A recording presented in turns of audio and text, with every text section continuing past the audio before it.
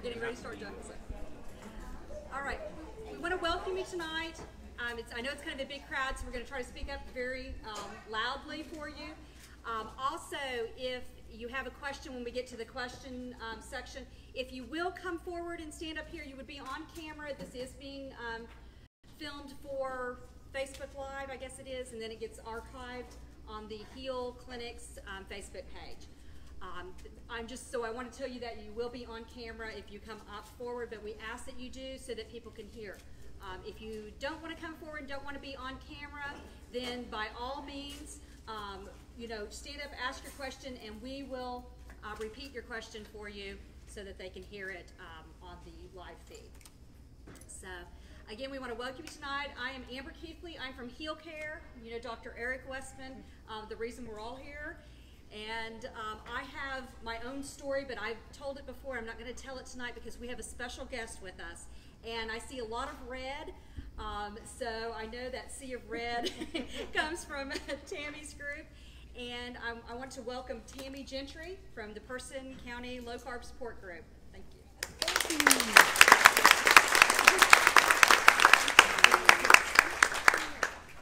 hello everybody. Hello. Um, okay.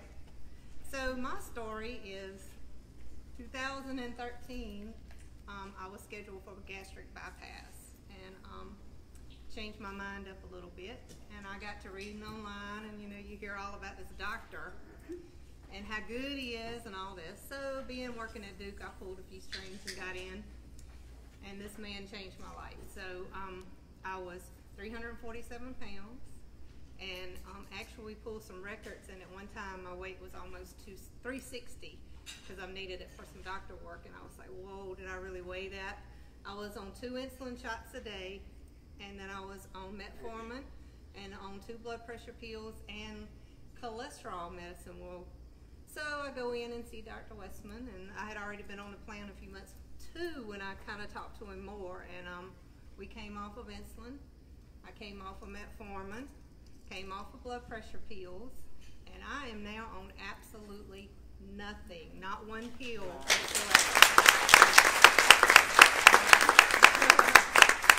So, um, to, to pay this man back for everything he done to me, I did my own group in Person County, and I promised to pay it forward. And and we've been going on three years now at 4,000 members strong. We're a family. I'm not I'm now there for everybody else. So after 140 pound weight loss, now I feel like I need to pay it forward to all of my members. So um, if you're not in my group, please join it. We're a family. I'm also in the Heal group now as an admin. So I'm helping them guys out asking questions. I bug this man. If I can't get an answer, I can always get it from him. Um, we branched out a little bit. I'm in Mississippi. If my sister's watching, Wendy Wagner. Um, we branched out into a um, support group there. I have a support group in Granville County.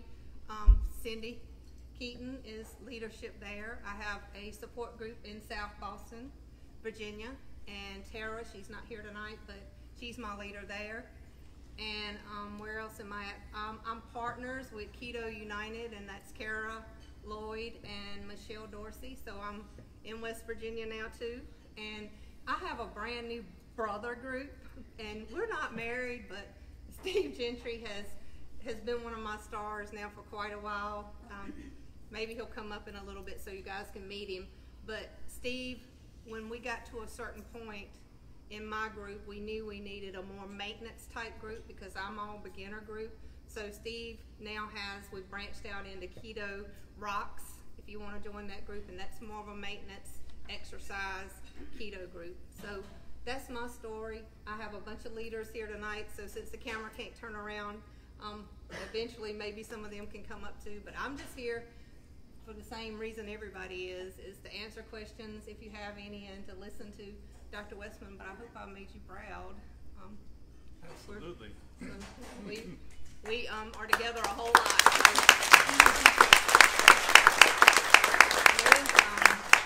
huge announcement that I want to make tonight. We went live today with ADAPT for a huge, like really huge event in Roxboro, North Carolina. That's only 35 minutes here from Durham.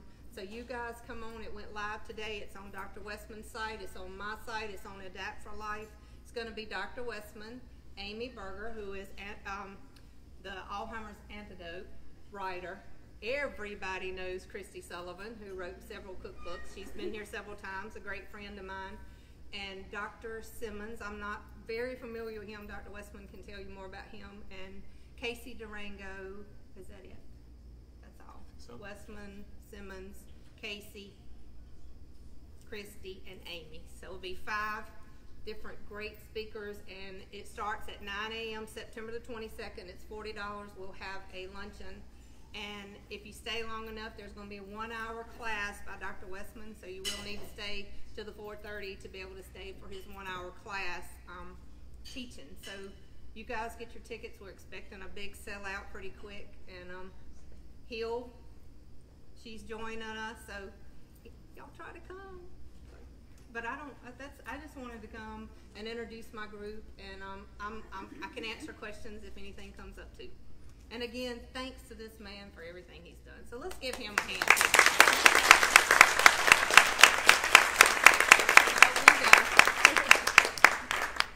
So special welcome to the Person County folks. Thank you for coming.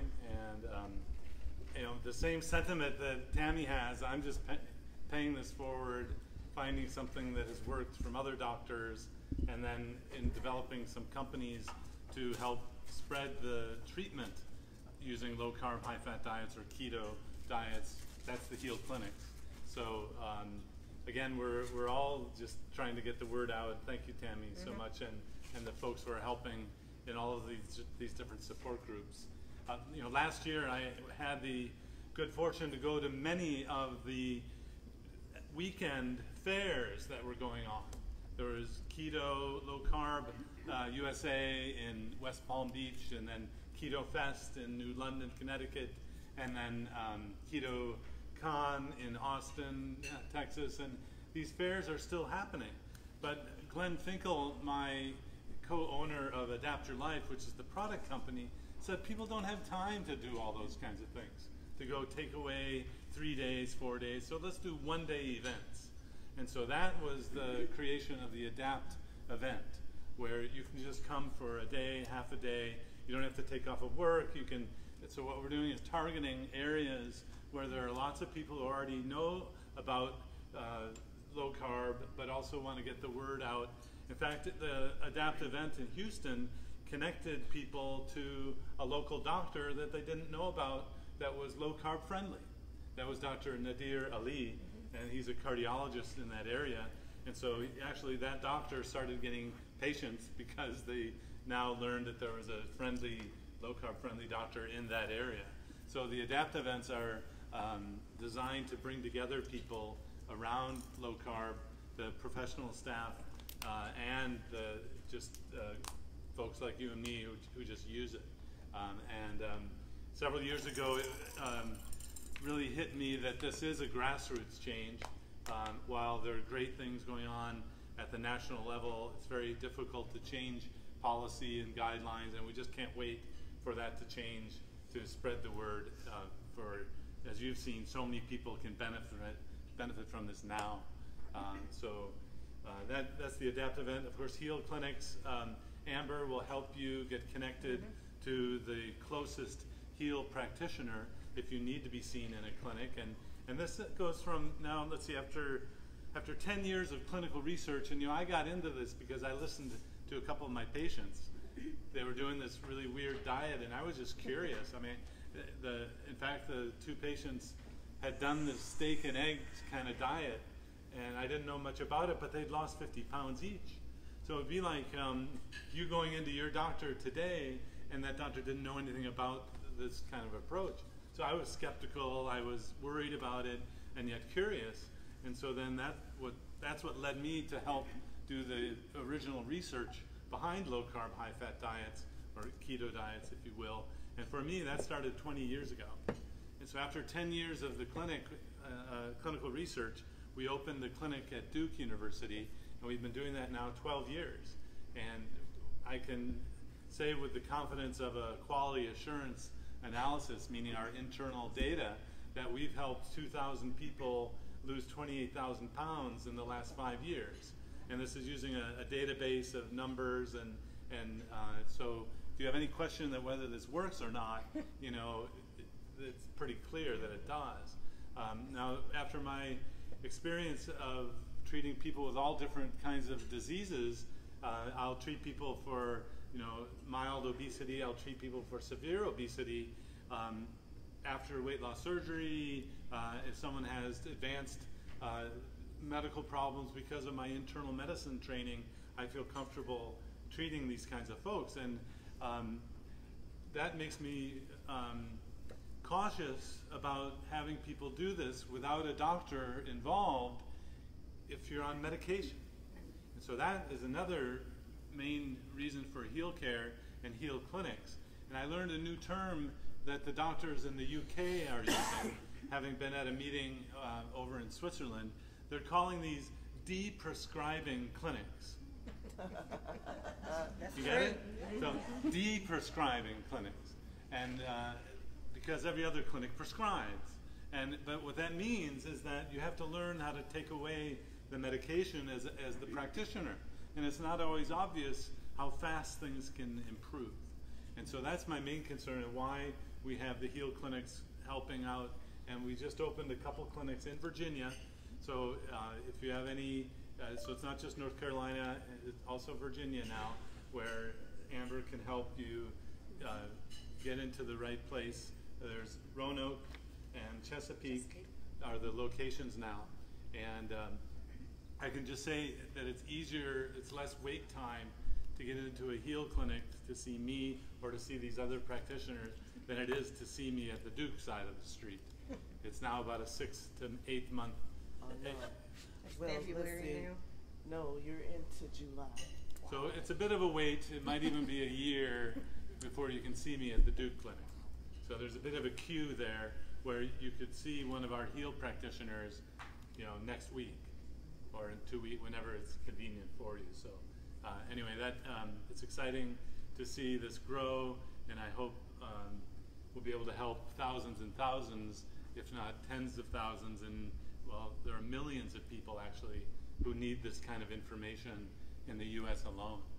Uh, so, thanks for coming out tonight. And I guess you know normally we ask for new folks to come up, share their story. Did you have any other? No, I, I, the only thing I will say about Heal Care is that if you have any questions, please catch me afterwards. If not, there's little cards on the table, has the um, website on it. You can go, you can fill out a free, no obligation initial health assessment. Once you do that, we can tell you which plan would best suit you. And we have a non-medical program and a medical program that we offer within both of those programs a really great support system. And that's what we have found with research that really helps um, people staying there is having that support system around you. You get a partner, you get commitment coaching, and um, if you're in the medical program, you get a um, practitioner that's watching over you with your medications. So it's a wonderful program. I've used it myself, I've utilized it myself, and um, was very successful with it. Um, proud of my success, and I am have to tell you, being off of medication is phenomenal. Metformin does not make you feel well. Um, you know, I was on anti-inflammatories that you know, were tearing my body up. And I was taking, you know, a really strong one twice a day. And I have not had to have one at all since I went completely ketogenic. Um, I had bad, bad um, tendonitis, just chronic tendonitis in both my elbows and both my shoulders. And I, I don't have any of that anymore. And I can still do all the things that I've done before um, and more, actually. So, um, that being said, um, I feel very strongly about HEAL. As a matter of fact, I felt so strongly about the program that I insisted they hire me, and they did. So. All right. So I guess we'll ask now if anybody, um, if there's anybody new that would like to come up and tell their story, or if they want to ask a question, or if there's anyone here that's been on the program for a while that just has a question, feel free to come right on up. So, who would like to be first?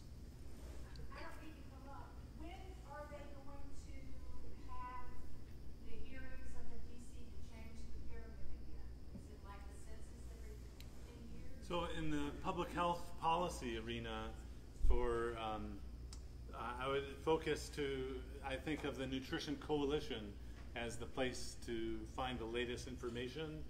Nina Teicholz and Sarah Hallberg created a, a focal point, and you can actually join, be a member.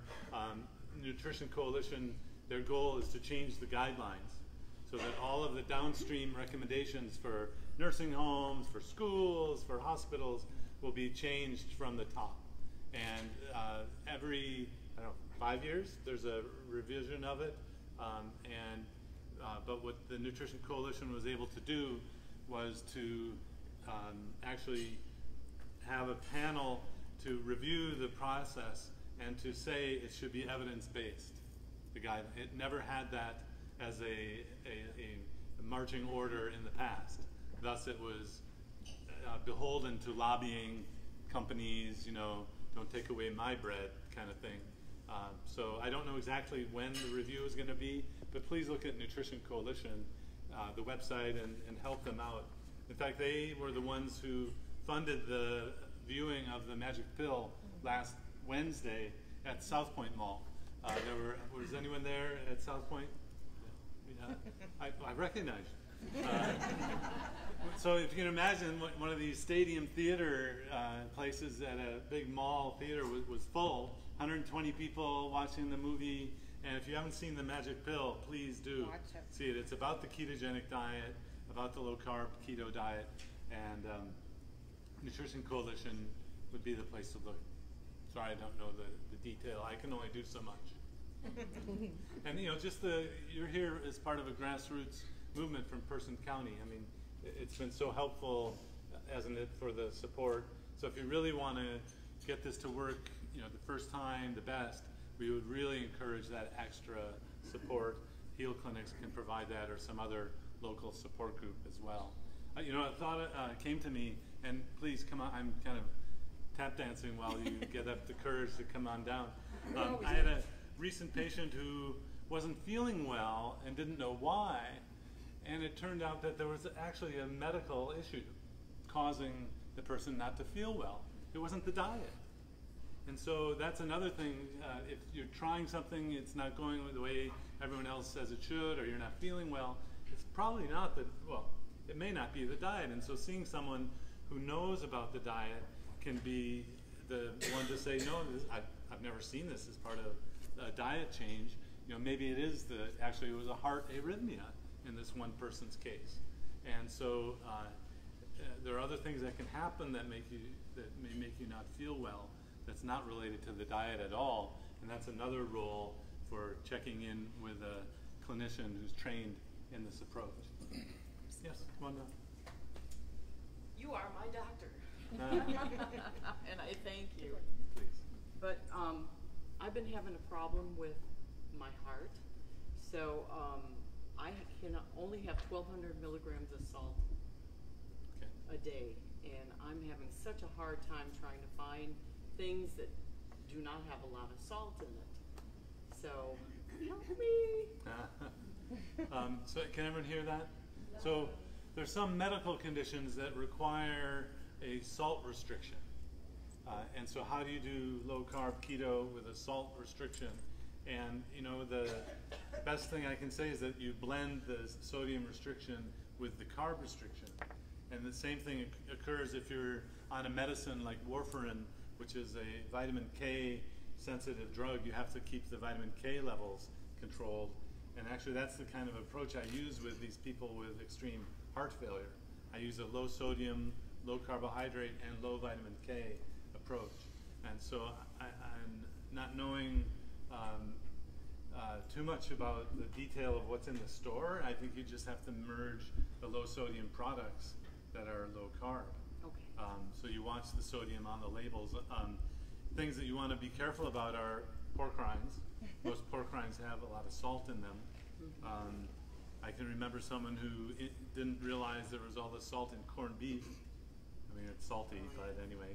So, um, did, are you finding what kind of foods are you finding that blend the low sodium and low carb? Well, actually, that's my problem is, you know, I was doing pork rinds, but uh, found out that, you know, I gained four pounds of water, you know, and I and I had to take the Lasix, so I kind of like doubled up on Lasix And Where do you get the fresh pork rinds? Right down the road from us on, um, Hillbill, I say hillbillies in it's, the it's right down where the old Kmart used to be, right below us on Roxboro Road. There's a Mexican restaurant, um, place there and you can go in and get, you don't have to get any salt on them. They, they do them fresh for you there and they can put barbecue or anything, but yours would have to be plain. No salt or anything. They, they actually fix it while you're there. So you Oh, wondering, okay. a local restaurant might make It's on Roxbar plain pork rinds for place. you, chicharrones at the Mexican Mhm. Mex- restaurant. They won't add salt for you. Okay. Yeah, there was one in Durham uh, that did that. I, I don't frequent that a lot. Um, speaking of pork rinds, that you can get chicken rinds or chicken skins, especially for a, a kosher household. Who knew? I mean, they're little bags of uh, fried chicken. Actually, it's pretty tasty. But, uh, I don't know the salt content there, but I think you just have to merge the two. Um, hopefully, there'll be a improvement in the heart function, like I'm seeing with some patients. Their heart actually improves function as you lose the weight because I there's less that. to pump against. I need that. Thank you. Thank you. Uh, could I get that address? too? Yes. Thanks. Just catch me So, we- connection of a Mexican restaurant that makes uh, fresh chicharrones uh, with a, a patient who needs low sodium things. I love it. Okay. Well, we can repeat the question if you don't want to.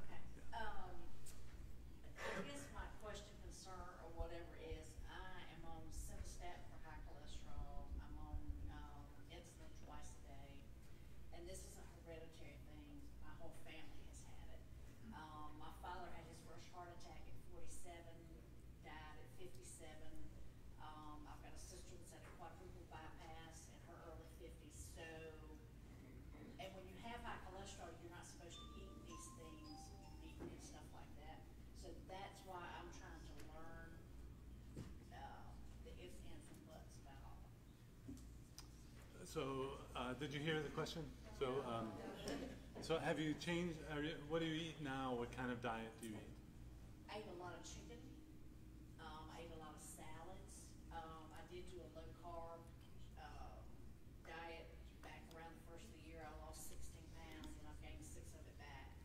Um, so I tr- do try to eat well, um, I do eat some sweets that I'm not supposed to eat, um, What do your doctors recommend that you eat for your heart disease? Or, but you don't have heart disease. Heart disease is in the family. Correct. You have diabetes on insulin, and you said it sounded like that it's a hereditary thing. There's nothing I can do.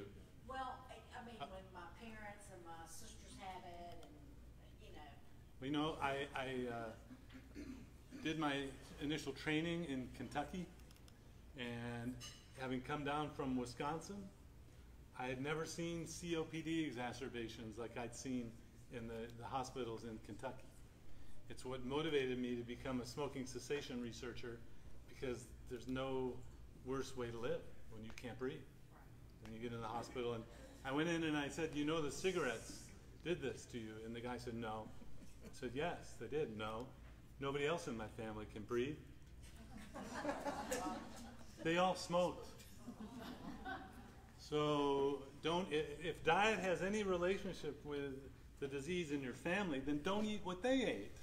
See what I mean? Okay, so, so um, the uh, interesting thing is um, reversible diabetes is is real, and I- not knowing your specific case, I just can't imagine. I mean, what age did you start insulin? uh, probably about five years ago. Yeah. So um, I would, you know, I'm not a betting man, but I bet you know 99 out of 10 times you'll be off your insulin if you did strict keto. So be careful. I mean, if you're watching the blood sugars and they're coming down, don't take insulin. So my rule is someone's really really savvy, you know, they're smart, they know what insulin does. I say if the insulin, if the blood sugar is under 100, uh, this is six in millimoles. If it's under 100, don't take insulin because it's just going to go lower. And then people say, yeah, of course, I know that. Okay. So if I say, you know, if the blood sugar is under 100 and you take insulin, what will happen? And the person says, well, uh, I don't know. Oh, then I'm like, okay. It- it- this means that they don't realize that taking insulin will make the blood sugar go way low, and I get worried about doing something like this without more monitoring. Right. So anyway, And that's I had to do a lot of that when I was doing the low carb.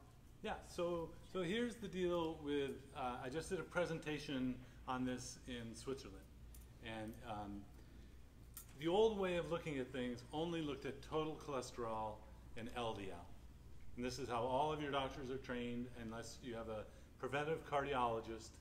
There's a pre- there are two preventive cardiologists at Duke who understand this out of the hundreds of cardiologists. Okay, so the new way to look at a cholesterol panel is triglyceride and HDL.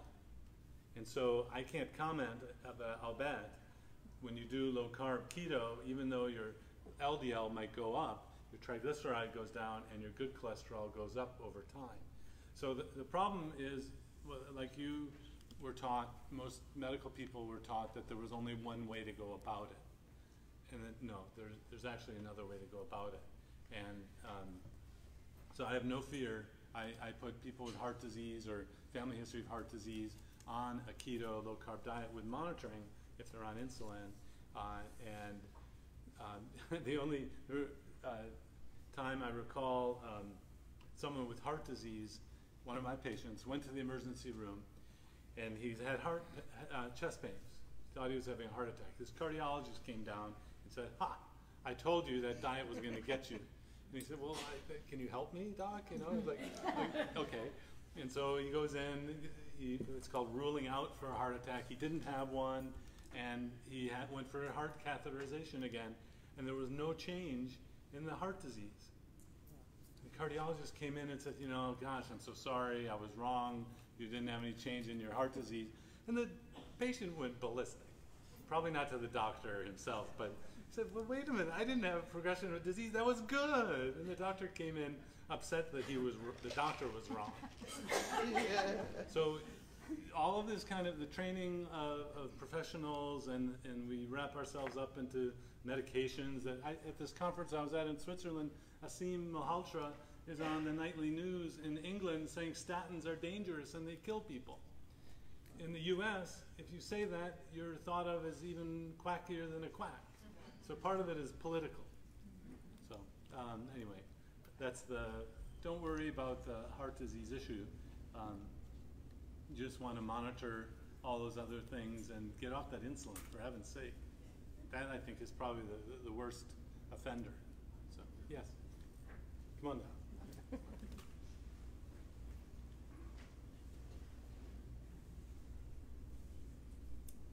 My name is Caroline.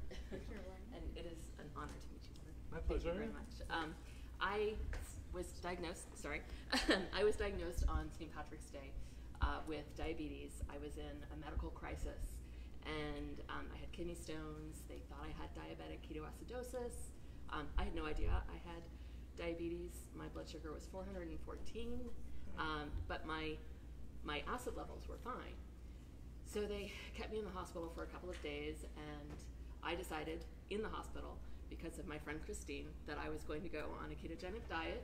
Started that day, uh, went home on insulin, uh, started 2,000 milligrams of, or worked up to 2,000 milligrams of metformin, and it's three months later. I'm not taking any insulin, any metformin. I've lost 30 pounds. Uh, my doctor. I feel great. I had a lot of aches and pains before that are virtually gone. Um, I just found out about your clinic. I wish I had known. I've seen your videos online, but I, I hadn't see, seen that there was something available right here. I live in Wake Forest. Um, and I'm wondering what will, is it too late for me to join Heal Clinics? Or, I mean, what, what, Not too late. what does that offer me? What, what's, Okay. okay. Now, if you were, depending on again, after your initial health assessment is reviewed, um, it would be determined whether you needed to go the medical route or the non-medical. If you were in the non-medical program, non-medical program is going to get you a partner, and your partner is going to be your how-to person. They're going to tell you everything you're going to need to know about the plan. They're going to help you out with how to navigate a restaurant, any of those kinds of things. a lot of those things I've already found on my own. On I've had own. to. And Um, then the commitment coaching is the second part of that. And you have commitment coaching. That's where you really get your head straight about this is the way you're going to be the rest of your life. Right. And it also helps you kind of, you know, when those things come up, that will come up that's kind of like, okay, boredom eating or eating at those, you're going to talk about those things in your commitment coaching group. And that's where you will actually kind of make the permanent changes that helps you keep this forever. Okay, and is this in addition to my current endocrinologist and primary care physician, or would this be a replacement, or? That would, if you're in the non-medical program, it would definitely not, you would not want to get rid of any of your doctors. Okay. That you would, um, now, if you go through the medical part of the program, you would have Dr. Westman that could oversee any type of care that would be related to your medications for diabetes, that kind of thing. Do you, pretty much is that what he's only Okay, saying? and do you take insurance through the clinic? Insurance is, um, we'll get you a super bill, yeah, we'll give you a super bill and you Okay. can turn it into your insurance, but we don't Okay. file, we have people coming in from all over the country. We Okay. can't file insurance for all different states. Okay, okay, well, that was basically. HSA and FSA accounts sometimes will pay Okay. though. Yes. All right, well, thank you very much. Fantastic.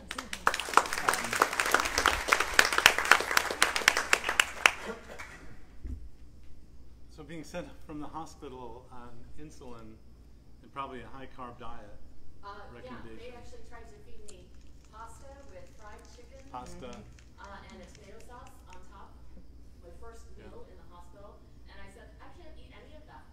And it came with a slice of cake on the Wow. side. And I, I was very sick, I hadn't eaten in seventy-two hours, and the nurse is like, well, honey, at least eat the cake. Oh. I'm like, you do know I have diabetes, right? And I had sweet tea too.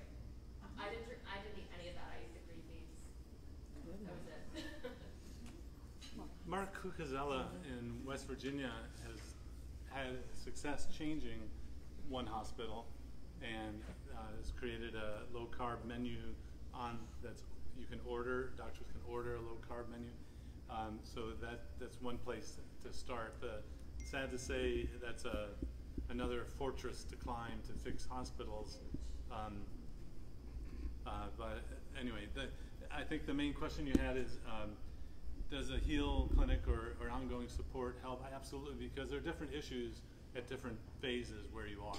And so something that might work early on may stop working.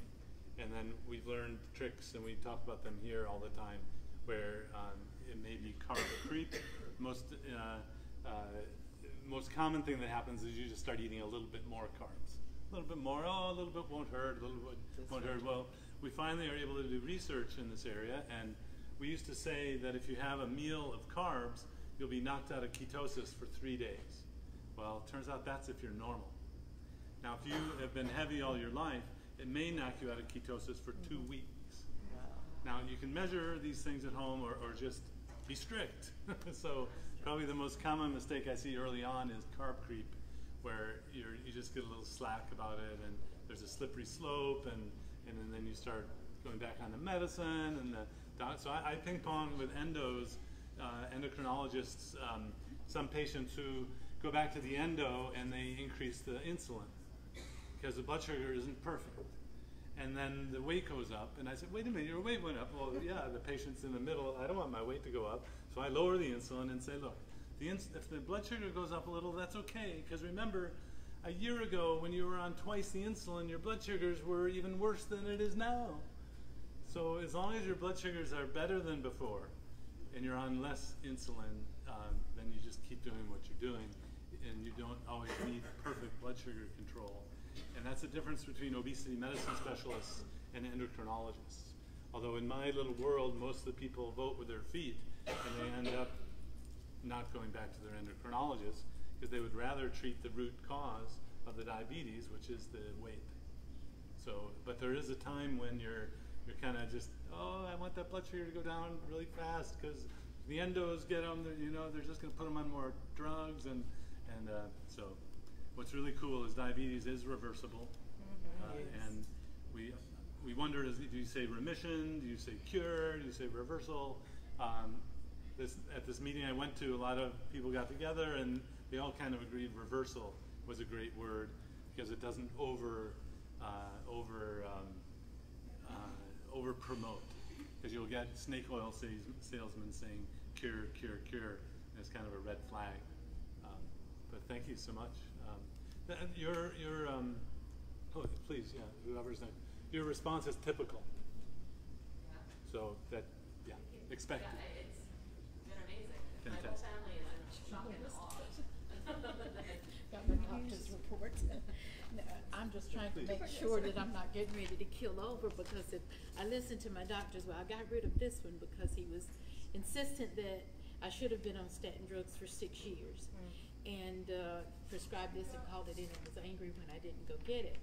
But now my cholesterol, the H, the LDL went up, but my HDL and my triglycerides, I thought, well, okay, I got your book, uh, cholesterol clarity, and see, and they were still. So, but they make you feel like you're gonna kill over. So the doctor was angry. Did that summarize it? yeah, that was it. In fact, he was so angry, he said, You probably should have been on this drug six years ago. So it's not only angry, there's, there's what? What's that called? Angry. Remorse and, and you shoulda, and, and, and if only we had gone back in time, which you can't do. You know, uh, but so the more emotional a doctor or any professional gets, basically the less data there is, the less science. Think of that. When uh, and what we use as doctors or any any professional, we use a little bit of coercion, right, to get you to do something. Fear is a good motivator, you know, and um, we're all worried about cholesterol. Okay, so this is a cholesterol panel. The uh, so I don't have any. Uh, This was last week. Old, okay. And The this old was and the last new, year. okay. So of course, when anyone looks at a cholesterol panel, what you do first is you say, how old are you? What's your gender? What's your blood pressure? Do you have a family history of premature heart disease, meaning before the age of 55? Do you smoke?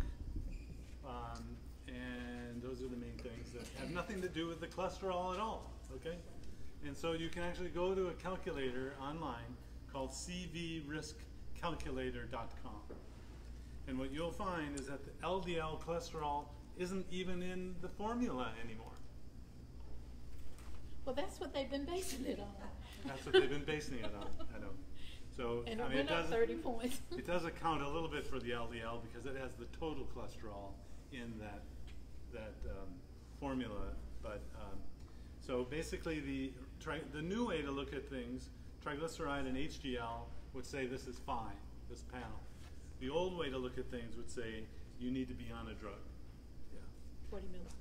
Yeah. So um, now, you know, being the, ever the diplomat, ever the the doctor who um, never wants to tell another doctor they're wrong.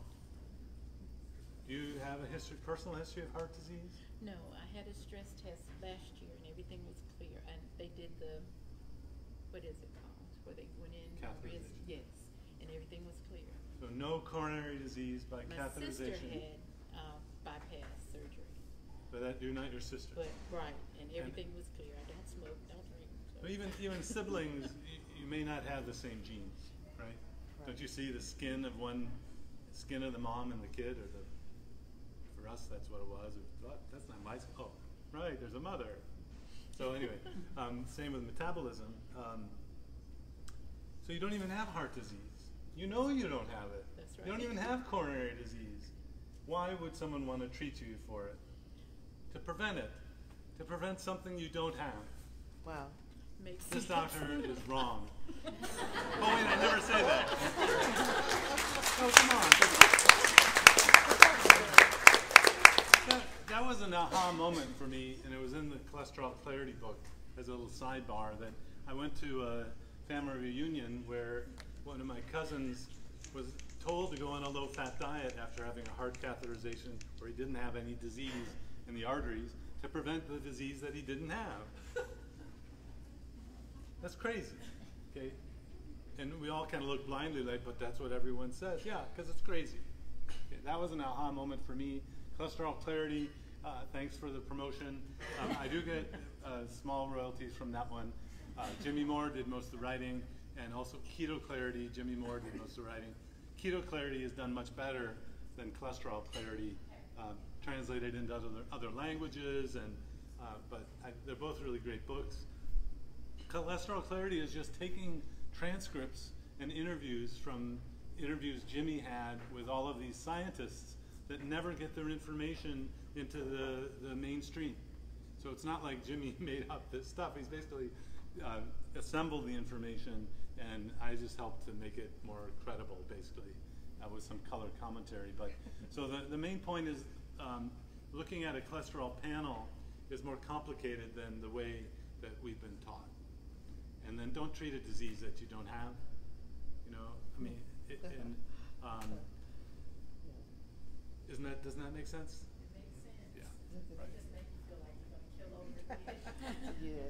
Well, change doctors. now getting back to a practical thing, many patients tell me they just say, you know, doc, let's can we d- agree to disagree on this one, and can you still be my doctor? Otherwise, I'll have to fire you. You know, I mean, if you have freedom to change within your plan, um, there are sometimes irreconcilable differences. I mean, and, and this really is prejudice about a blood test, not about you know an ethnicity or something.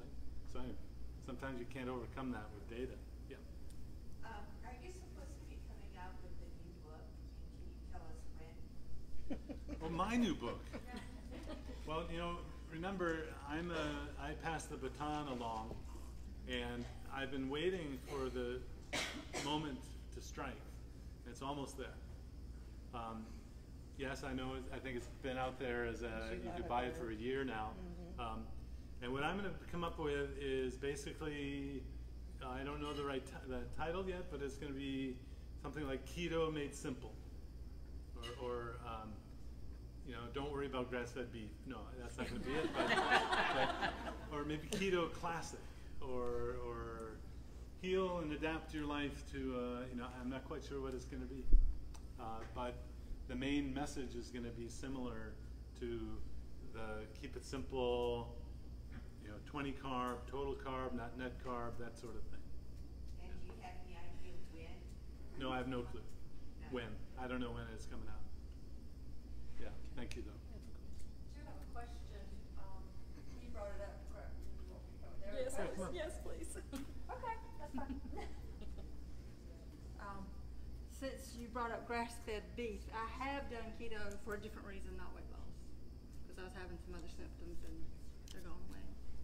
So migraines, migraines. I, I came up, I came up to ask a question. I did not start keto for weight loss. I started for migraine symptoms, headaches, and I don't have them anymore. That's been since We November. clap for that. Yeah. They're not How. Anyway. how long did you have migraines? It started, don't hurt me here at Duke. Chapel Hill, I was at Chapel Hill getting my bachelor's. I promised they just accepted me first, so anyway, but don't hold it against me. So they started then, and then they just kind of progressed. So Had a break how long and- ago was that? Last year? Uh, You were, yeah, last year. No, more than twenty years. So I'm just trying to tell the story. So you had 20 years of migraines? It was, I say it was started in nineteen ninety-two. And. Daily, weekly, Uh, no, they would be about once a month, and then they would go away for a while, and then they would come back with stress, Stress, yeah. related kind of things. Yeah. And then over the last probably two years, they were coming once a month, and about the last six months before November the sixth, I was getting them every weekend. And I Can you was describe what an episode was like? Some of us have Um, never had a migraine. uh, vomiting, not able to tolerate noises, light. It was not tolerating really any, any light above the, your head. It was being just quiet, really quiet, and uh, so would knock you out of commission for a while? Yes, but being a practitioner myself, I had to take care of some other people, so I didn't always have that choice. So I would go in the office, close, the, just turn the lights off and say, sorry, I got the lights out, but come in anyway because I have a lamp on or something like that. And then when I did start, How long did it take for the migraines to, to not come Um, back? I'd say when I started the keto 11.6, and I also started with my boyfriend, he couldn't come to 90, he's lost 40 pounds on it. Um, within a month, I was seeing a difference, and I was am not taking my medicine. One time, I've had to take my medicine within a month, it's gone away. Within an hour, sorry, within an hour, it's gone away. So I don't have to take the. It, I was on the Proxen, but it, it's, I don't have to do that anymore. So to my question, since uh, yeah, anyway, my question is, with the keto grass-fed beef, grass-fed products, how important are they in the keto diet? I don't and know. do they make a lot of difference? I don't know. Okay. That's one of the untested uh, remaining things that needs to be teased out. I think. Okay. Um, do you do you get an extra benefit by having the food quality sort of concern? So again, always let's say you always had grass-fed beef, you always had Kerrygold butter, you always avoided vegetable oils and all that. Would you get more than just doing low carb? Nobody knows.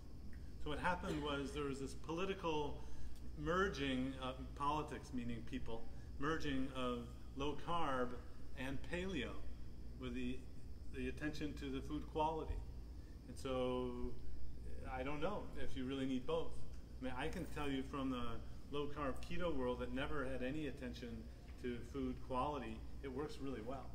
But it might be that it gives you extra advantage, perhaps even in a, in a um, condition that's truly inflammatory, like migraines, uh, that nobody knows. So you could test this for me. No, just kidding. So Give start. me, give, so me the, give me the test. I'll the only thing you change is changing from grass-fed beef to ungrass-fed beef, and see if you get migraines back. Oh no! I know you don't want to Actually, do that. uh, the reason I haven't been buying a lot of grass-fed meat is because it's a little more expensive. Expensive.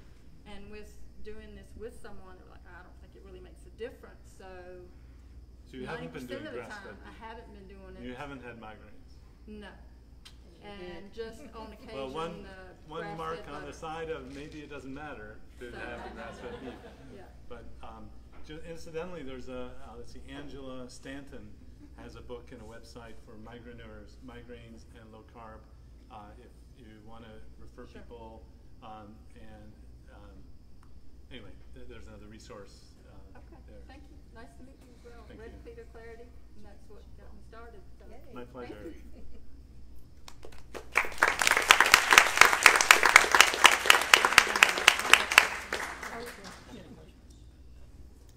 Um, when I had my last physical, the doctor said, you're borderline on having cholesterol problems.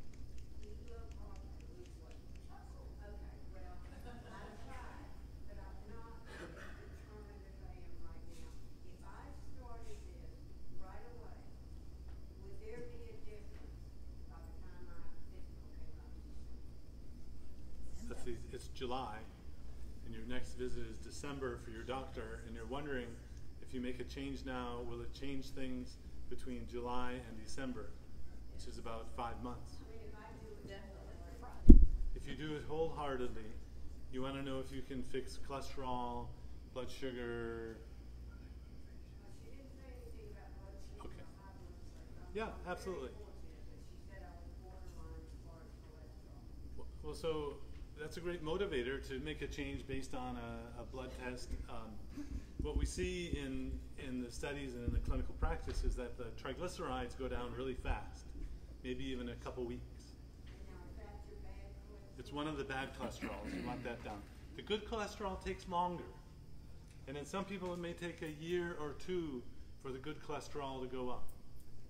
So don't, if that's the only one, it may take longer than the five months. Triglyceride, LDL, triglyceride, and total cholesterol will change in that five month period. If you were doing it for blood sugar, the A1C, hemoglobin A1C changes over a period of months, and you would see a big change in five months if you looked at the blood sugar with the hemoglobin A1C. Yeah, if um, that's another side benefit of doing it. You know, we looked at the um, studies that we did in terms of what percent of people have an elevated LDL and cholesterol. And we went back, and it turns out that if you looked at all people, uh, two thirds of the people going keto had improvements even in LDL and total. So for every person who comes up here with an elevated LDL, that means there are two people who had reductions. And they didn't come up and talk about it because their doctor wasn't upset about it. So often, the, you know, the squeaky wheel gets the grease or, or gets the, the complaint. You have to always remember that the, the positive benefits aren't always said, uh, told about. So the, the doctor in practice might say, oh, well, low carb keto, oh, the LDL's down, triglycerides, oh, and ignores it, ignores it, but and then the one that comes by, oh, it's up, oh, I'm worried about this. You know, so uh, keep that in mind. That most of the time, the cholesterol, even the LDL, gets better. Yeah. So, I was invited here tonight, so I'm actually glad to be here. I So come on down. Well, no. um, I suffer from migraines really bad, and um, my children also suffer from migraines, and they've all started um, like before the age of four, five, six. Um, so my nine-year-old, fifteen-year-old, and my twenty-three-year-old, they all still have them, and all of my mom's side of the family has them. So, yeah, so for my children, for me, it seems like um, people are doing this for weight loss and things like that, which is something that I'm interested in doing it. But if I changed my eating habits to benefit myself for migraine and weight loss issues, like I wouldn't be starving my children if I made them do the same type of um, eating habits. I mean, I know it'd be much healthier. but, Like my children are athletes and they're already skinny, and I'm trying to keep weight on them. So I don't, I don't wanna, I wanna be able to give them a healthier lifestyle, but, um, without starving them or making them feel like, oh my God, I just gotta eat this stuff. But what I ate tonight was amazing. So, and we all have migraines, so if I could go migraine free, oh, praise the Lord, I would just totally be for it. Cause I, I'm incapacitated when I get a migraine. I can't function, I can't drive, I can't see, I'm sick, I throw up. So I have to take a Phenergan and a Maxalt and a whatever I can get in my system to, to get me to just get it go away. So my children is more along the line of not starving them if I try to change my lifestyle, but also help them in the interim going forward. Can I, so Amber's going to take the first crack, and then I'll take second crack. But is it? I'm starving, mom. You know, oh, come on. So they're not starving. Along the lines of, uh, why are we eating? Yeah. So, but I, I try not to give them processed food like McDonald's and stuff like that. I've gotta give them something like that on the, because like I said, we travel a lot because my daughter, um, wants to play college ball and she's a rising junior in Orange. And, um, so we're constantly playing softball in another town. My son's a baseball player. We're playing in another town. So during the week, we're quick to make meals, you know, quick eat out. So it's been a struggle. So I'm trying to find a happy medium to give them something good to help them gain weight also. Well, I will tell you that number one, you won't starve your children if you're feeding them real food, which is what what we're eating. It's real food. You're not get, you're not in any way going to starve your children. Um, that's not going to be an issue. The other thing with that is because the whole idea of if you're well and you're feeling well, then your children are going to be doing much better because you're going to be there 100% for them. So definitely do it for yourself. Introduce it to your children because imagine if we're all sitting here, that, one's, you know, I'm 51. If I had had this when I was a young child, I would have never had to struggle with any of the things that have come up in my life with you know, being diabetic, with being any of those things. I would not have had that issue if I had been fed correctly, as at least introduced to it as a child. I would have had a better chance. So you're looking at that. You know, this is going to be good for your children. The other thing is too is that when you're looking at, um, you know, when you're you do it gently with them. You know, I still live with a carbivore. We call him a carbivore. So, um, you know, but he definitely eats very well with me any meal that I'm having. So, and even when we go out, he's going to make choices that are going to be better um, than he used to. He still eats his candy and that kind of thing, but we'll, we're working on that. But you can definitely do that. I mean, at least feed them at home, what you can do, and eating out. We're just going to cover that really quickly. Um, I will tell you this, and I tell this story all the time. I, you know, people say, "Oh, I can't do this. I eat out all the time." I can go to Sam's Wholesale Club and eat on plan in the snack bar. If I can do that, you can eat in any restaurant. I eat a, a um, hot dog, the, and they have Nathan's hot dogs there. Have them leave the bun off. They have these little packets of, um, oh gosh, what is it? Um, Relish? it's not relish. It's Chow chow? Sauerkraut, yes, one gram of carbs and a diet soda. Now, the diet soda is not the greatest thing in the world. Doesn't bother me, doesn't seem to stall me or anything like that, so I have a diet soda. I'm perfectly happy. I put a little bit of mustard on it. I'm good to go. And then I'm not shopping hungry. So, so it can be done. If you can do it at the snack bar at Sam's, you can eat anywhere. I promise you. So this is healthy eating for anyone. Yeah, as you saw at the buffet here, it, it's not evil food. I mean, it's real food. Um, children are are uh, uh, definitely a little more difficult to manage. If, if you kept a home that was keto and then they ate outside, that'd be fine. I mean, at least you're modeling that you're not having sugar. I mean, the, the low hanging fruit, pun intended, is get rid of sugar if you can with your kids. I mean, that's you're just creating another generation of sugar addicts and sugar junkies. Um, the other comment, though, if, if you can plant a seed in your child, like sometimes you can, sometimes you can do no right, sometimes you can do some right, is that have them watch this movie called Cereal Killers, or Cereal Killers too. It's C E R E A L, not S E R. Although that might intrigue them even more. But Cereal Killers is about how athletes are eating keto now and winning races in record time. It goes through all of the detail. I mean, it, it's pretty geeky, but um, so actually you get a competitive edge by not eating carbs. Whereas the teams now all are like, well, we carb load and all you all spaghetti. No, no, the ones who are winning aren't doing that. So when my oldest child was a baby, he was so skinny, like he was very picky eater, and his pediatrician was like, just try to feed him milkshake before he goes to bed. And he was fat, and I was like, okay, let's just feed him milkshake before he goes to bed. And then now I hear you say this, and I'm like, holy crap, it's already done. You know. Yeah, so uh, some people can gain weight when they start eating a low carb diet. Don't under, don't exactly understand why. Although if someone is doing the you know um, college co-ed diet of Skittles and, and, and you know macaroni and ramen noodles, and you're you're adjusting to a healthy lifestyle by getting them to eat meat or, or some other protein source. So getting adequate protein is really important for growing kids. And uh, so don't. Uh, I taught once in a class, only once. I said, "This isn't this isn't a, a weight loss diet. It's a fat burning diet. It's a fat burning diet. It's not going to always give weight loss. Don't think of it. Someone got up and said, "Well, I'm leaving then because I want to lose weight. I want to lose fat weight." And I said, "See, she concretely thought, well, I'm in the wrong place because I said it's not a weight loss diet. It's a fat burning diet, and she didn't understand that that was both.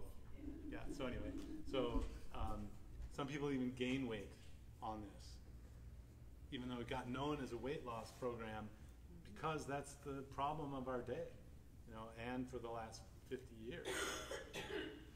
Yeah. One other thing. If you have a career like her and I both do, are there any meals in this plan that you can make up on the weekend so you don't have so much to do? Tammy. We're going to let Tammy answer that. this is what her, her group does this.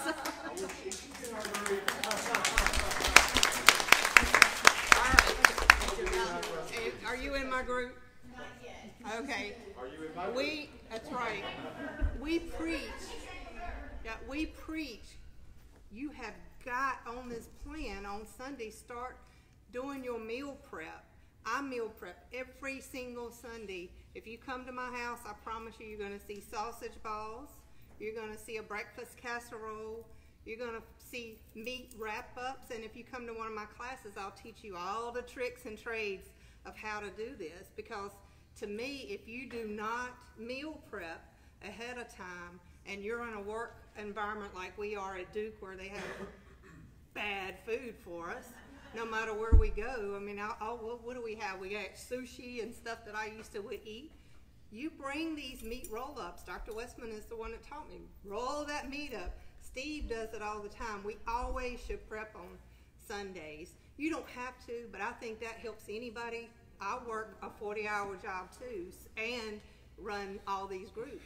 So fix your food ahead of time, especially my breakfast casserole. That is so easy. And I'll tell you real quick, and I'm gonna get out of the way. Fix your sausage, two pounds of sausage, one hot, one mild. Mix them together. brown your sausage, put it in the bottom of a 9 by 13 casserole dish, and then mix up 8 to 12 eggs, depending on how thick you want it, with about a fourth to a half a cup of heavy whipping cream. Mix those up together, pour it on top of your sausage, and then put a half a bag of um, cheese. I prefer to go ahead and grate my own, and Dr. West's going to tell you potato starch is in what you buy in the bag, so be careful. There's hidden hidden carbs in those, but sprinkle that on, cook it for 35 minutes. On 350, you have breakfast for the whole week. It takes about five to 10 seconds. So um, I'll try to put a lot of recipes on all of our websites to help you guys, but I really believe in meal prep. And going back to children, I want to answer that one. Watch the magic pill. Unbelievable on children. We're reversing children with autism. What else was in there? Seizures. Seizures, epilepsy. So watch that for Forest for Children, and they even are teaching you in there how to prep food for your children in the magic pill. So, go ahead. Don't we have time for, we have time for a little motivational story? Sure. Sure. You?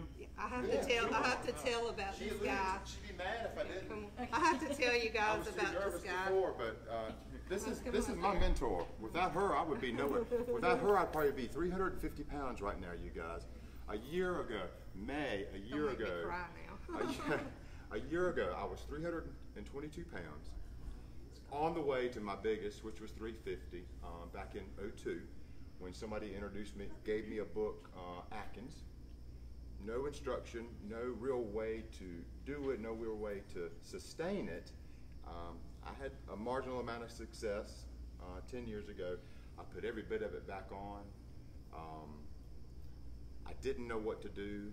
One day, just by luck, a cousin, also a gentry. You got to understand Roxboro. There's, I moved. I've, I've lived in Wake County for 20 years. I moved back to my hometown five years ago. There are 60 gentries in the Wake County phone book. There are 600 gentries In Roxboro. in Roxboro. and the one thing I'll tell you is there's two clans, and as my granddaddy said, uh, those dogs are from different packs. So Allensville Gentry's in-town Gentry's. I've known Tammy since we were uh, together at North Roxboro Baptist Church in Sunday school. We've lost touch, of course, uh, a lot of years, but um, as luck would have it, don't make me look fat. You pull up my t-shirt. You know how I am about my, you know how I am about my look. Uh, my cousin Stephanie said, "You, uh, you, you used to low carb? I know, I know somebody that uh, knows something about low carb. Introduced me to Tammy, who got me on the right track. This is a long way of saying this is how paying it forward helps. Your research with Dr. Atkins, and I know a lot about that. I know about the clinical trials. Your chance meeting with Tammy, the chance meeting I had with my cousin that led me to you, folks. 13 months later, I've lost 108 pounds. I was 215 pounds. Um, my cholesterol numbers have dropped dramatically. My blood pressure has come down from the 150, 110s to the 120, 80s. My triglycerides have come down 100 points. My A1C has dropped from 7.2 to 5.1. You guys, this plan works. I've never counted a thing one day in the last 13 months except my total carbs.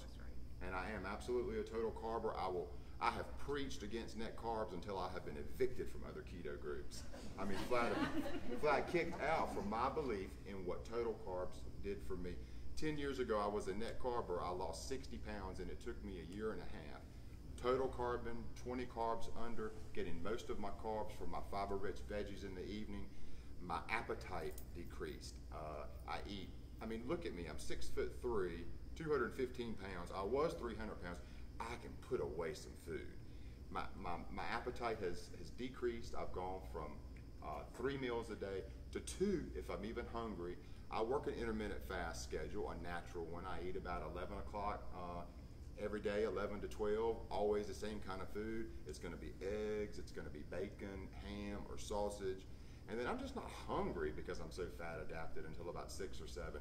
That's always going to be a fatty protein, uh, uh, cheeseburgers off the grill or in the frying pan if it's raining or too hot, uh, steamed broccoli, cauliflower, any kind of those approved veggies I can come up with, staying within our portions, our guidelines. Even 13 months later, I'm still a beginner. Even though I've begun an advanced group, my moderators are here, some of my leadership team is tonight, uh, Keto Rox.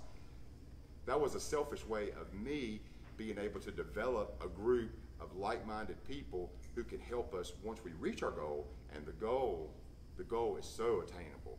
I, I- and I would not have been able to tell you that even six months ago I had my doubts.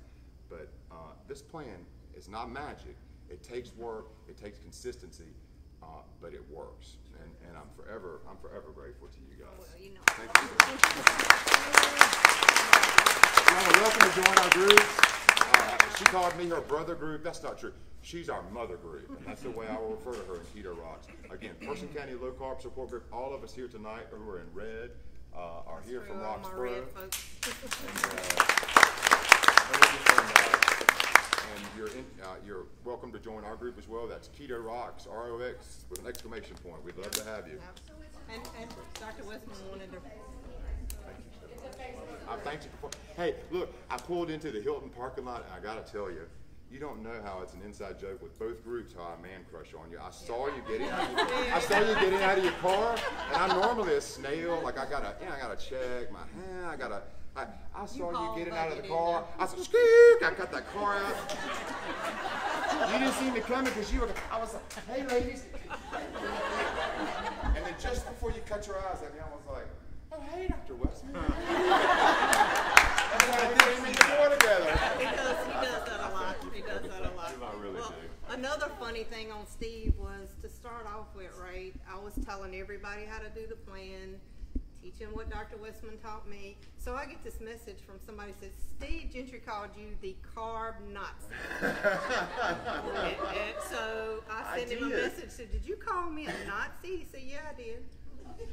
But I, I am it's- pretty it's, um, strict. It's but- like the seven stages of grief. You, you really go through a process. When the, uh, the biggest thing is is deciding that you're ready for the change. Okay, I tried a lot of different plans. I was an '80s kid. I mean, I was brought up in those in those really deceptive marketing tactics of waking up and having a big glass of orange juice and a fat-free Danish or some fat-free Entenmann's. You know what I'm talking about? That whole low-calorie, uh, you know, low-fat, fat-free, and that you know that was what was was drilled into my brain. It is. Uh, so We got you right now, and I appreciate his story. anyway, like I was saying, a, a whole process of denial. She took away my Kraft American Singles cheese. took away my peanut butter. But you guys, a year ago, I was in a 46 waist, pushing a 48, a 2X, pushing a 3X, and I bought this today because I had a coupon at People's and I got it for free. Because it's the over 40 day. I'm 48. That's Yeah, another we did. thing. That's right, I know I don't 48. look at. I'm, I'll be 49 in October. Keto has the power to reverse the clock. You can look at my pictures on my page. You can look at pictures on her page. I look 10 years younger than I did 10 years ago. And that and that's really the power of uh, you know a ketogenic way of living. I firmly believe it. Uh, I joined a gym. I'm doing things that I never, ever, ever would have believed that I could have done. You know, even 20 years ago. It's like the meme I put on my Facebook page. I'm a, I'm a 40 year old who feels like a 20 year old until I go out with the 20 year olds, and then I'm like, no, then I'm a 40 year old. I got it. I got it. I've been checked at the door. But I do feel 20. I feel the best that I've ever felt in my life. Again, the best numbers. Here, here's here's another rock star in the making. I, I tried to encourage him to give us his story too. This a lot of people know Mark uh, the Buck. He runs Keto Shack.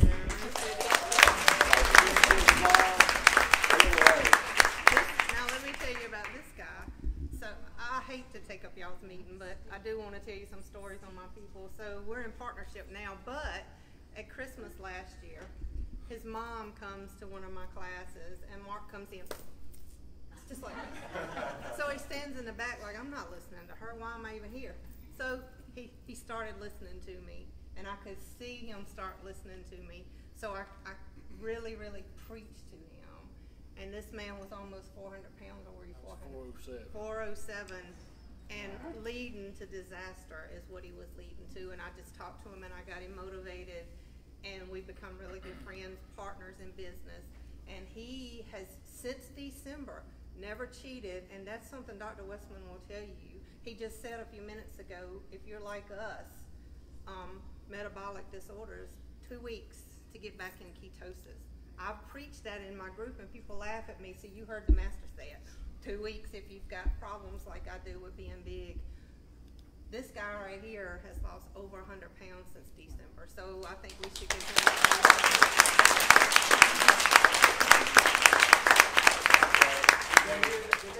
Did they hear, did they hear that? Since December. December th- of last year, he's lost over 100 pounds. I'm 288 now, so I've gone down 122 pounds in a little over five months. And I.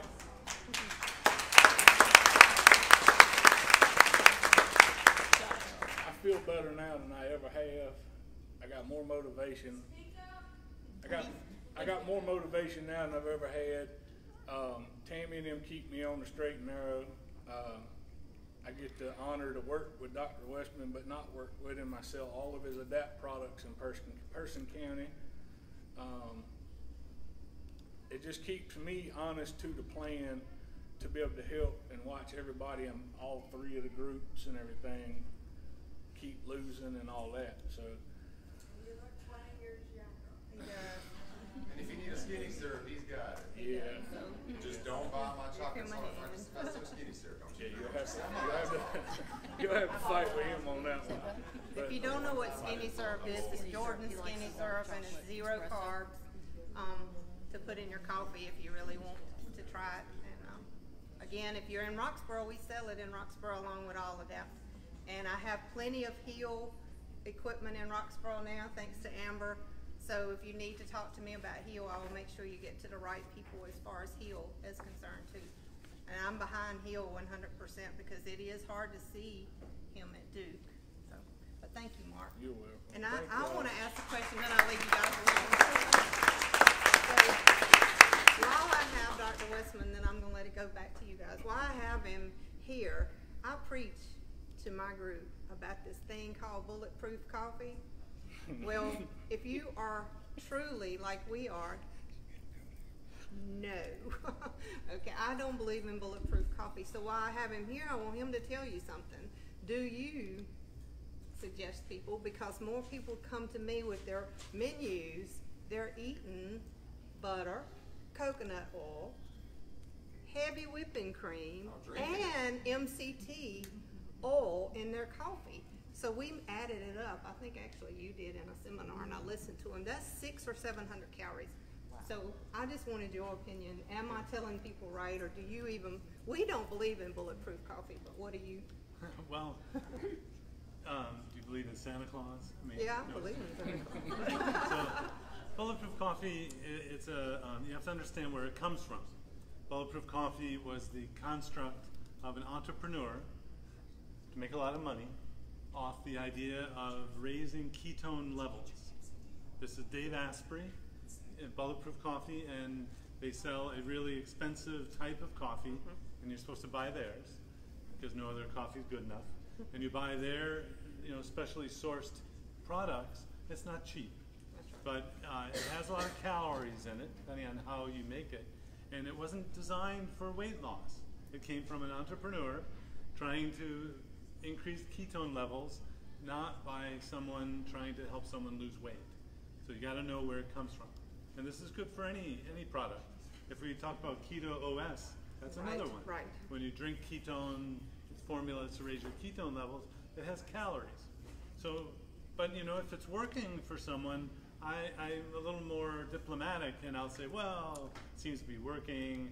You know, even if someone's having some alcohol or, or they're having some nuts or something that's not on page four and it's working, I say, great. So I, you know, I don't go to bed worrying, oh no, that person didn't stay to page four. It's, that person didn't have success. That's right. So if it's not working and they're having bulletproof coffee, that's the first thing to go. Because when you add up the, the oils, the calories, it is a lot. And if it does reduce your hunger the rest of the day, so that the total calculation of calories for the day is low, it might work. Uh, so I'm not totally, um, you know, against it, uh, uh, although you don't need it, that's for sure. Um, I mean, one of the upsides of bulletproof coffee, though, is it's gotten a lot of people interested in this area. So you can't, uh, you know, that that's a, a plus of it. Um, does anyone use bulletproof coffee here? Yeah. So now, if you're if you're lean and you're just trying to manipulate That's your right. ketone That's level, right. you might feel a little boost. Does anyone feel a boost after bulletproof coffee? I'd say just about everyone who's using it. So, so there may be a subset of folks, or maybe everyone who uses it. I don't know. It feels a little different, um, and so that's a different issue. So if someone's weight neutral, meaning you're not trying to lose weight, you're not trying to gain weight, changing from a more protein-based diet to one that's more oil and fat-based, using that kind of product might actually do some benefit. And so that's a perceived benefit that you might get from just just taking it. There have been no studies of bulletproof coffee for weight loss. There have been no studies of keto OS for weight loss.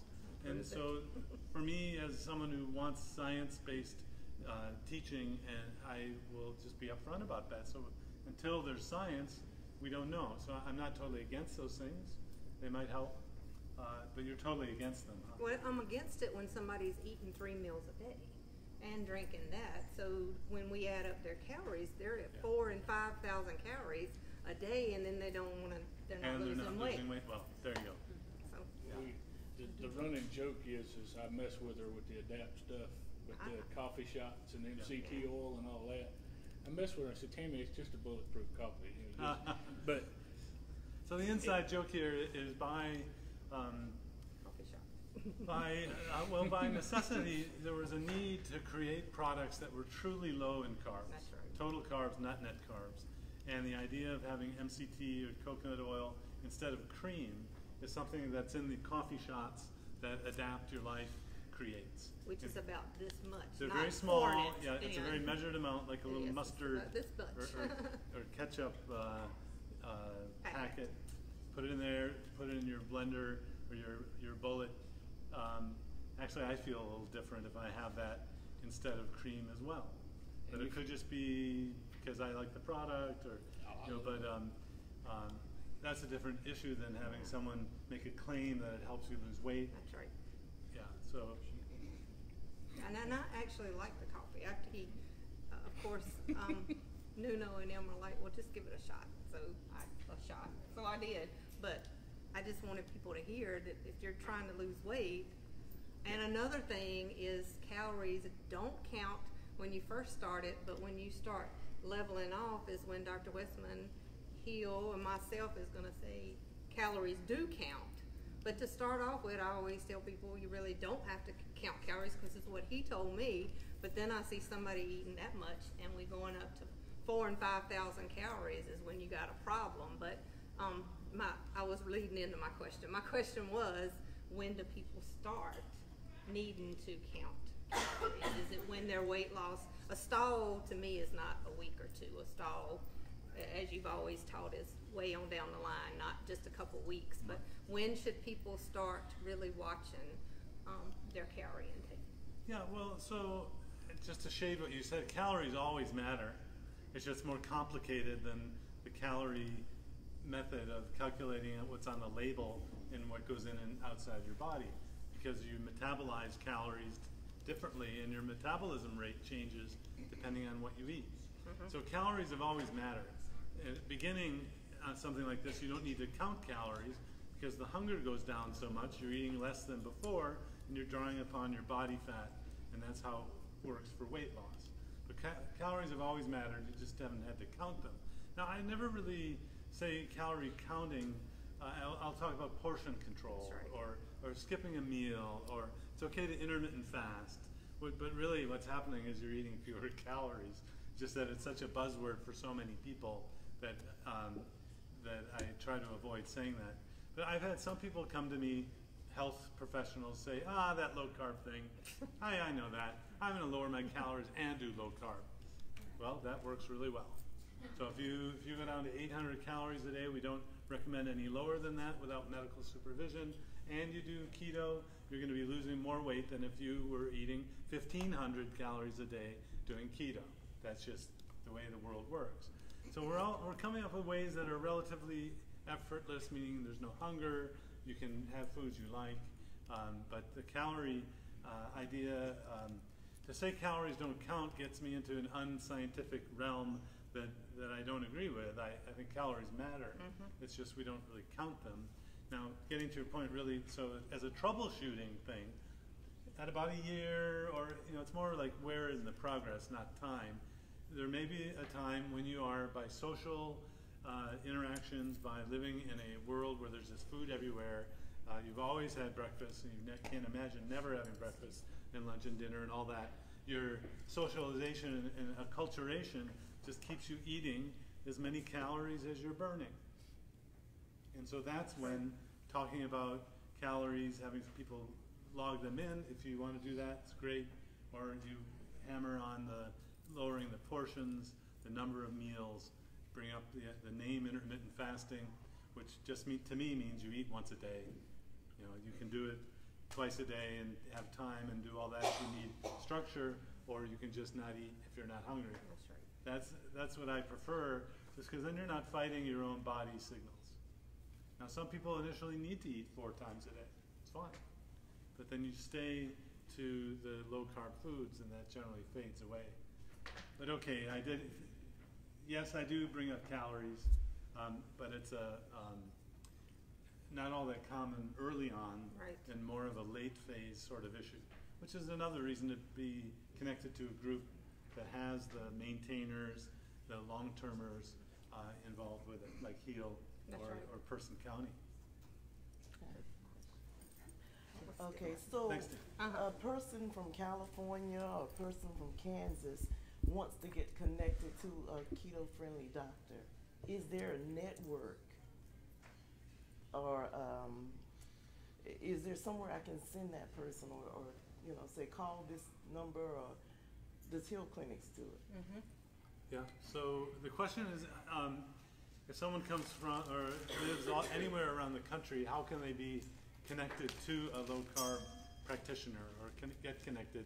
And I just have to say, of all the celebrities in the Duke University world, we have Rita here, who's one of the schedulers at the Duke Clinic. So if you want to really get in quickly, you know who to talk to after the meeting. Uh, but um, well, there, there are lots of avenues to find out who the local uh, or nearby people are. Uh, Heal Clinics is one, where uh, although we basically have clinics now in the southeast, um, but you can get coaching anywhere in the country as long as you don't have a medical problem. That's the non-medical part of Heal. Um, other resources are uh, there's a low carb friendly doctors uh, blog and website that Jimmy Moore has maintained, and that's a good one. There are um, actually some international and, and U.S. groups of doctors that I belong to that so people bubble up just that I'm aware of. It's not publicly known. So often people will email me and, and I'll know somebody in the area. I've also been a part of the largest obesity medicine association, not the surgeons, the medical doctors um, in the world. And so I've met a lot of doctors all over the country who use obesity medicine techniques, and many of them use a keto approach. I mean, the ones who bubble up that I know really well and have an internet presence is Jeff Gerber, uh, Denver's diet doctor, Adam Nally, who works in Surprise or Phoenix, Arizona, um, Sue Wolver, who's in Richmond, Virginia, uh, at uh, the university there. Uh, those are the ones who kind of have made all of their practice into a low carb keto practice that come to mind. You could also go to the Obesity Medicine Association website, and there's a find a clinician drop down box. You put in the town or the area code, and then an obesity medicine specialist will come up in your area, but they're not necessarily a keto friendly doctor. A lot of these medical weight loss doctors will use medications or very low calorie diet programs instead of a keto approach. But those are the things that I, I look to, and uh, of course, think of Heal Care first, healclinics.com. I think there was a, yeah.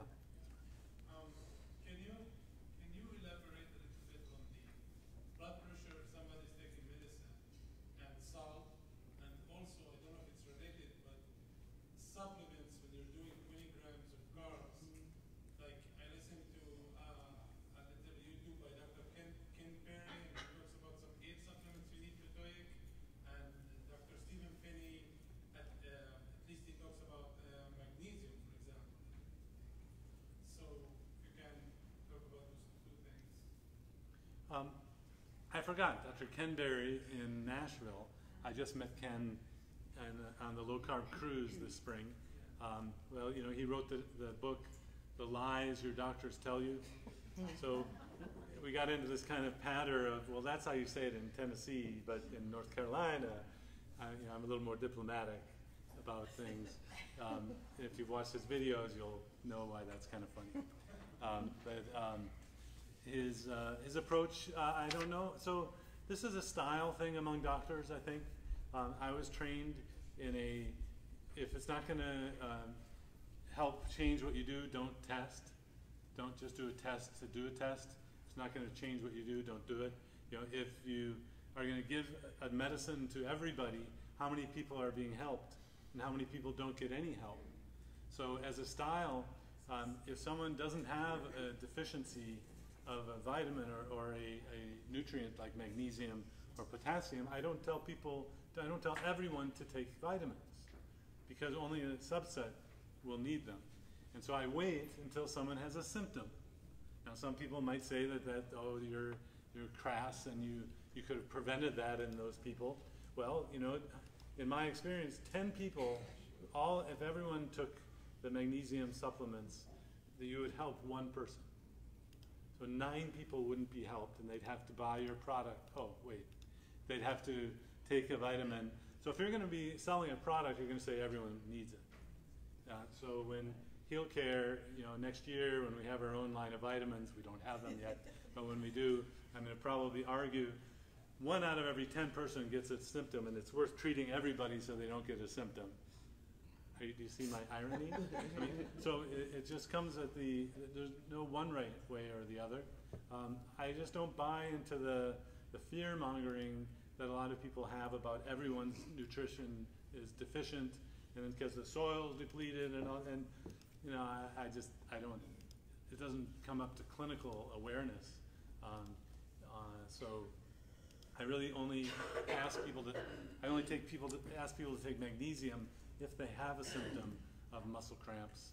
Muscle cramps are quickly relieved by, yes, a squirt of mustard or pickle juice, home remedies, or you take one teaspoon of milk of magnesia at bedtime for a week, not the whole capful, that's two tablespoons, yeah, you'll go overnight for that. Just a teaspoon at bedtime for a week replenishes your body store. Uh, Steve Phinney talks about slow mag, as, so the, the type of preparation you use seems to matter. The liquid form seems to be um, absorbed by just about everybody. That's why I, and it's available everywhere, uh, you know, even in, in the UK. So it, it's something that's universally applicable. Uh, so I, I, don't quite know, you know, if there, if there were a study that compared keto uh, with vitamin supplements and keto without, and there was a demonstrable effect, um, then I'd start preaching something different. Uh, salt and blood pressure? Well, blood pressure is interesting. So there's this interesting book called The Salt Fix. Mm-hmm. Have you read it? Okay, that's your homework. Yeah, that's a uh, good book. So, Very good book. So, uh, The Salt, Salt Fix. Fix. It's a book. And um, what's very interesting is I've known in the medical world that salt, not everyone is salt sensitive, even when they have high blood pressure that we know that in the medical world, but we tell everyone to restrict salt because of those people who are sensitive to it, and we think the other people won't be harmed by lowering their salt. Well, no, in this book, actually, the restriction of salt can cause insulin resistance. What? Yeah. The restriction of salt can cause insulin resistance. Wow. That's a really good book. I didn't know until I read this book. It's, it's data that, that people don't talk about. So there's actually a downside to inappropriately reducing salt. Now, but if you came to me on a medication and for blood pressure, I would say don't add extra salt. Just use the, the regular foods. We'll monitor your blood pressure. Even better, get a cuff, use it at home, check it at home, write it down, bring it back to me. I'll look at it. When the blood pressure on the high number goes under 110, or you start feeling weak and dizzy, we're going to alter your medicine, uh, taper it down with monitoring. If the low number goes under 65, or 60. If you see the low number in the 50s, the diastolic, this can make you feel weak. And the, the cure for that, or the remedy, is more salt. so it's interesting um, that uh, it, we, it's become so medicalized, this thing called salt. Uh, the best thing is to just monitor whatever you're worried about. Um, did I answer your question? Okay. I think, uh, and we're, we're coming down the home stretch. Yes. Uh, uh, we have to be out at a certain time. They do like for us to. Yeah, so maybe just a couple more questions? Yep, sure. Come on up. I had an epiphany this weekend. I started this way of eating two years ago based on a TED talk I saw. Sarah Hallberg? I think so, I can't remember now. I watched it and I got it so excited because my husband was diabetic. I needed to lose weight, I wanted him to lose weight. I was over two hundred and twenty pounds at the time, and he was uh, right at three sixty. And so, anyway, he's down to under 300 now. I'm at 140, so I've lost 80 pounds in two years. And this past weekend, I went to Home Depot to buy my bird seed for the month. And I picked up a 40 pound bag of black oil sunflower seed and threw it over my shoulder and walked to the car and I went, oh, hell. I used to carry two of these around all the time. It was like, wow, how did I do that? I'm within five pounds of what I've set as my goal of moving from the 220s. I'd like to be back around 135. I feel like my original weight of 7'6 is probably unreasonable. Oh, Of 7'6. My original weight, seven pounds, six ounces at I birth. that's. Got it. But, but what, what did you weigh in high school, college? Uh, around 120 to 125. I see people achieving weights they thought they couldn't achieve.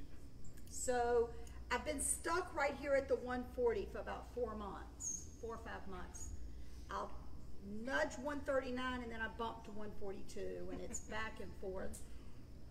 Do I simply step up the game a little tighter or does your body reach a set point? so this seems a little crass. Has anyone watched Naked and Afraid on TV? If you go out to a desert island, deserted island, and you don't eat anything, and you, literally they take your clothes, you're naked, and you lose a pound a day Okay. because they're not eating anything. Anything. Yeah. They're not eating anything, and they're not sleeping, so you don't need sleep to lose weight because their bug bites are so bad. You gotta watch the show, and, and it's raining, and they're not sleeping, and they're losing a pound a day. They're not running, they're not exercising, and they're losing a pound a day. Of course, it's not the healthiest way to do it, and although I one think of my my patients. complex wouldn't like that. Going around naked. Got it. Well, but so, yes, if you want to lose more weight, you have to eat less Okay. and exercise more. Okay. Well, But and it that's wouldn't the be last thing. unreasonable. I mean, I, I was So, just, in the everybody keeps context of- saying, you've done well, you need, just stop where you are. And it's like, It's your I don't choice. know." That's right. It's your choice. You can, now, there are a lot of people who say, um, everyone tells me I'm too skinny. Has you, have you heard that? Mhm. Because everyone else is too obese. So, if you look at if you look at TV shows or, or just the news from the 1950s, I mean, everyone's BMI was 21. If you look at people coming from Asia, the youngsters, all their BMI is 21. And in the U.S., we say 25 is fine. So I don't know. I, I don't think we know the answer. So, I mean, I use BMI 23 or 22 or 21. I use body fat percent for women, low 20s, men, teens, and if you want to get lower than that, I'll send you to the gym and they'll help you with that. The third thing is to use the best weight of your life. And Okay. that may be your optimal weight if you imagine um, for your frame and size and, and what you want. Um, so, um, but it, now it's a matter of, and I say this laughing because we never say eat less and exercise more. But in the context of low carb, when you're here, that's the answer. Okay. I mean, you can. We have hope that there are new drugs and we'll be able to address insulin resistance and metformin and all that. Right. But once you have no hunger, you're now prepared to eat less with Mhm. less or without any extra hunger, And then being active, I think for, at the end game, it's important. I, I de-emphasize it at first because most people don't have energy. Right. And, and the last thing someone wants to do without energy is to exercise. Right. And, um, uh, but in the end, you, that's something, just walking, I think, is Mhm. fantastic. Right. Um, and I don't, you know, it's really up to you. Okay. So actually, the, the dial, the, the weight loss control thing here is the carbs. And now you've Mhm. learned that. Most other people don't know this. Right. So you're in charge of that. Yeah. Um, but then it, I'll, I'll ask someone to do ketone monitoring to troubleshoot if, if they're, you're not having ketones in the breath or blood or the urine, um, I don't care which one, then I'll say you gotta be tighter on the carbs. Okay. They're probably hidden carbs, extra hunger coming back, there's some carbs somewhere, it seems to me, or stress. Um, Okay. But, um, it's up to you now. Great story, thank you so much. Well, and I want to share the uh, the migraine. I started having migraines as a teenager. I haven't had a migraine in two years. Great. Wow. Great. And it's, speaking of saying what you lose, I lost my migraines. I lost my arthritis. I lost my heartburn. In addition to the 80 pounds, I gained focus. I gained stamina. I gained energy. And I have neighbors that have known me for five or six years in the complex say that I look like I've lost 10 to 15 years. I'm 64. That's great. And so it's like, this is crazy. My hair turned dark. I had beautiful, beautiful silver hair, and I loved my hair, and it turned dark. it's your fault. Changing It's the- your fault. yeah. Be- and and I had a beautician tell me that it was the that silver hair and the hair color can be a sign of health, and that when your hair starts turning darker, it's a sign that you're healthier. That's great. So, anyway, thank you. You just mentioned ketones. How worried should we be if our ketones are not in the optimal 1.5 to 3.0 range? Mine reg- regularly are 4.5 to 5.0. And is that too high? Do I need, is that a problem? Nobody knows. Okay. That's what I found, but I wanted to. Um, in so uh, for the advanced course courses are in the books called The Art and Science of Low Carbohydrate Living and The Art and Science of Low Carbohydrate Performance by Steve Phinney and Jeff Volek. Uh, the basic course is The New Atkins for a New You, written by Westman, Phinney, and Volek. So if you're just starting out, if you need a book, although you don't need a book, just follow the plan. Um, the New Atkins for a New You, probably the best book ever written about diet, not because of me, but because of Phinney and Volek. Uh, and um, this is kind of the basic course. The advanced course is the Art and Science uh, series. And in there, there's a stylized picture of what nutritional ketosis is. It's stylized. The reality is now that more and more data are coming out about the ketone levels that real people have, it's going to be much broader. So I see routinely people having ketones 4, 5, and 0.5. And, and they're still in ketosis, they're still losing weight. Uh, so that definition of what ketosis is, is changing. And, and that was really just a stylized best they could do. And it really, it came from Jeff's work, Jeff Volek, and he mainly has studied normal people or, or metabolic syndrome, not people who are going to be at the diabetes realm. And, and that's when the a range usually gets a little wider, yeah, thinking about it in that way. Don't worry. Don't worry. Yeah. Well, in fact, in uh, other don't worries, if you're checking blood glucose, I've had people have blood glucoses in the 40s. And they're normal, they feel fine. But if you went to a doctor, they'd say, I'm going to give you sugar. Right. Yeah. Yeah. Uh, but so as long as you're feeling fine, you're, you're running on ketones and fat, not glucose, the glucose level can go lower than what would be no, thought of as normal. Mine's been in the 70s and 80s before surgery, and they're having a cow. I'm like, I'm fine. That's right. They thought it was too low in the 70s. Yeah. Yeah. Our time's up. Our time is up. But Thank you guys so much for coming. Our next meeting is August 7th. It's the first Tuesday of the month. I do ask that you go on one of the um, Facebook pages that can be um, Heal Care for Life Facebook. It can be the Person County Low Carb Support Group. It can be the Low Carb the- Support group by Eric Westman. Yes, Low Carb Support Group by Eric Westman. Any of those, and RSVP to the event. That way, we just have an idea so they can get the room prepped for us. And um, if you'll do that, when you if you'll comment, I'm going to eat or I'm not going to eat, that helps also. That gets lets us know who wants to eat, and that they can make the right amount of food for us. So, but we thank you all for coming. And um, a special thank you to the Person County Low Carb Support Group for being here tonight.